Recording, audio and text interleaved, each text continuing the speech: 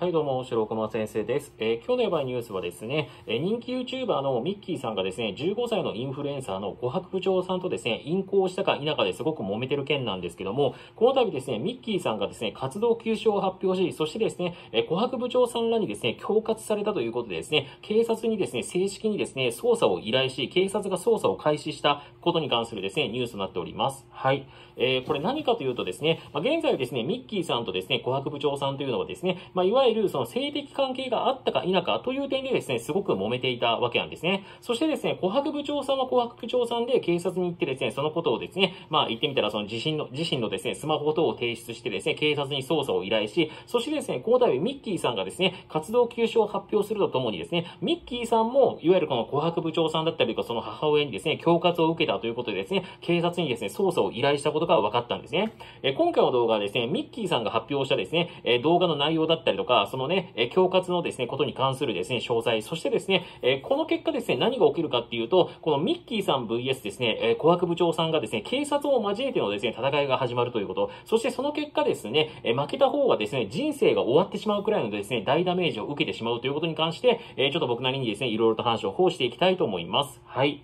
えーまずなんですけども、このね、ミッキーさんがですね、この度ですね、投稿したですね、え動画の内容からですね、さらっと話していきたいと思います。えーまずなんですけど、ミッキーさんはですね、7月9日ですね、はい、えーにですね、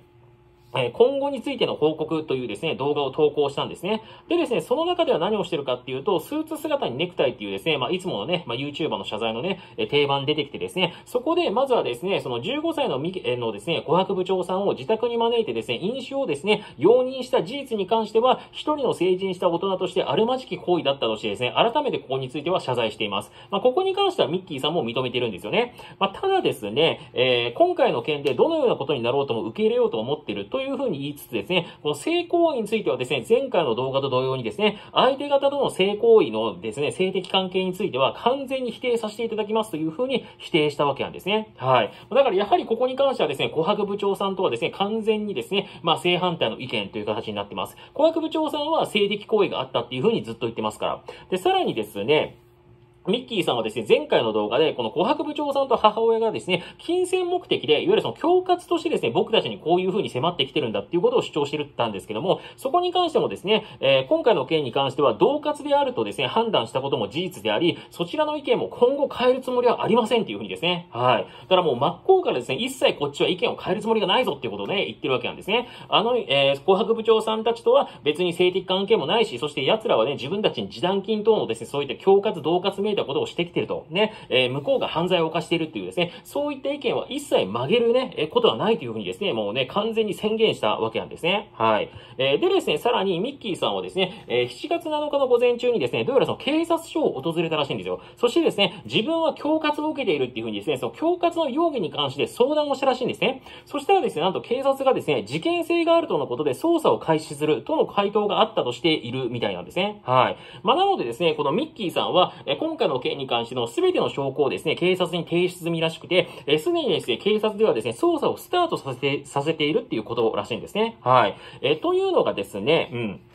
今回ですね、ミッキーさんが動画の中で語ったことですね。ちなみにですね、ミッキーさんはですね、今回のことに関してですね、えーこんえーその正式なですね、結論が出るまでは、えー自身はですね、もうこの件については言及してないし、そして活動休止を続けるということをですね、発表されました。で、ちなみになんですけども、その活動休止している間はですね、これ、ミキオタチャンネルっていうですね、YouTube チャンネルなんで、あの、小田さんっていう方がですね、えー小田圭さんっていう方がね、もう一人相方でいるんですけど、この方がですね、一人でチャンネルは運営していくみたいですね。そしてですね、ミッキーさんはアイドルオーディションのプロデューサー等もやっていたらしいんですけど、この辺も辞任したっていうことらしいです。はい。え、というのがですね、今回の、えミッキーさんの動画の内容となっております。はい。つまりですね、ちょっとここまでの状態をさらっとだけですね、復習しておきたいんですけど、要はですね、要は、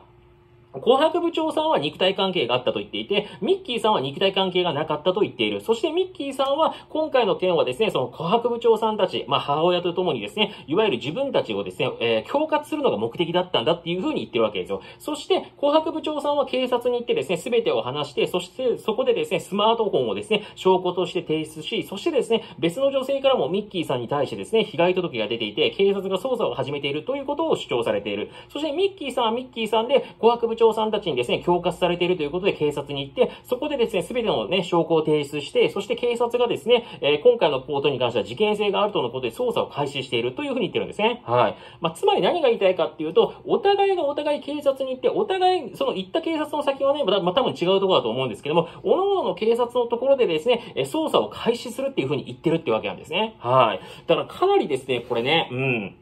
さらにこの、なんて言うんでしょう、混沌としたですね、戦いになってきましたよね。ついにね、お互いがお互い警察を背負ってのですね、戦いになってきたっていう感じなんですよね。えー、でですね、じゃあ僕がね、このね、流れを見てですね、どう思ったかっていう話なんですけど、これリアルになんですけど、マジで負けた方人生終わるんじゃねえかっていうふうに正直って思っちゃったんですよね。はい。ではなぜかっていうとですね、まあ、いわゆるその YouTuber 同士のですね、水かけ論と言いますか、やって、やらないのですね、水かけ論とはですね、もはや完全にですね、話が変わってきちゃってるんですよね。はい。だってそうじゃないですか、今回の一件っていうのは、これおさらいしておきたいんですけども、あまりにもですね、お互い言ってることが正反対すぎるんですよね。ね。はい。えー、ミッキーさんはやってないって言ってる。でも、紅白部長はやってるって言ってる。ということはこれどういうことかっていうと、どっちかは確実に嘘をついてるんですね。はい。ということはこれ何が恐ろしいかっていうと、嘘をついてる方は自分が嘘をついてることをですね、隠してですよ、その警察に行ってですよ、その虚偽の報告をしてね、警察を動かしてるわけなんですね。これどれだけリスキーなことなん、ことなんですかって話なわけじゃないですか。ね。はい。自分が本来はそのね、被害にもあって何も関わらず警察に行って、僕は、私、僕はこんな被害を受けているんです。警察の皆さん助けてください。これが証拠ですっていう風にやってるわけですよね。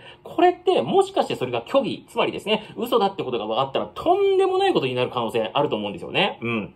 だって警察だってそうじゃないですか。ね。少なからず、各々の警察はですね、各々が出した証拠をある程度信じたのか知りませんけども、捜査に乗り出したわけですよね。でも自分がで、皆さんもですね、ちょっと警察目線で考えてみてほしいんですけども、まあ、えー、ね、各々がですよ、証拠等を提示して被害、被害をですね、訴えてきて、それで、じゃあ捜査しましょうって捜査したい、ね、捜査しましたと。で、捜査をしていく中で真実が分かった時に、結局ですね、えー、自分たちにですね、えー、そのね、助けてくださいって言ってきたですね、えー、方が、まあ、言ってみたら全部嘘を言っていて、そもそも被害にすら合ってなかったってことが分かったとしたら、警察としてはどう思うかっていう話なんですよね。はい。これどうなんですかね僕ちょっと法律に詳しくないからわかんないですけど、何かしらの罪とかになったりするんですかね虚偽罪とかあるんですか？わかんないですけど。うん。まあ、ただですね、これが、えー、ちょっと僕は法律に詳しくないんで、法律的にどうなのかわかりませんけども、少なくともですよ、真実が分かった時に、その嘘だって分かった方のもう人生終わりじゃねえって話なんですよね。はい。それくらいのこれ大ダメージになっちゃうと思うんですよ。うん。だからとてつもなくですね、なんて言うんでしょう、お互いがめちゃくちゃ今リスキーな戦いをしてるなっていう風に僕は思ったんですよね。うん。ただの嘘つきの話じゃないんですよ。ね。嘘をついて警察を動かして相手を逮捕させようとしたっていうですね、こういう状況になっちゃうわけですよ。嘘が分かった方はね。はい。ってなった時に、これから先のですよ、まあ、人生と言いますか、うん、どうしていくのっていう話なんですよね。はい。警察を利用して相手にですね、前科をつけようとした輩っていう話にね、これなっちゃうわけですからね。うん。いや、だから僕としてはですね、これね、まあ、ミッキーさんもですね、ここまでですね、まあ、意見を変えないということは相当自信があるのかなとも思っちゃうちゃいますよね。だからもうほんとわかんなくなってきましたよね。お互いがお互いですね、あまりにも自信満々で警察に生きてきましたっていう風にね、言ってるわけですから、ってなるとっていうね、これで嘘どっちかがついていると思ったのがめちゃくちゃ怖いですよね。なんか本当にちょっとしたホラー見てるみたいな感じじゃないですか。こうなってくると。うん。どっちなんだっていうね。はい。まあでも何にせよですよですよ。何にせよこういう風に警察がですね、お互いね、正式に動き出したわけですから、まあどういう流れになるかわかりませんけども、まあね、何かしらの決着がつくはずじゃないですか。こういう風にね、お互い警察が動き出したのに、結結局うやむやになって何もわかりませんでしたってふわーって終わるってことはもうないわけですよ。必ずですね、何かしらのですね、結論は絶対出るはずなんですね。そしてその結論が出た時っていうのは、つまりどっちが嘘をついていたのか、そしてどっちが嘘をついて、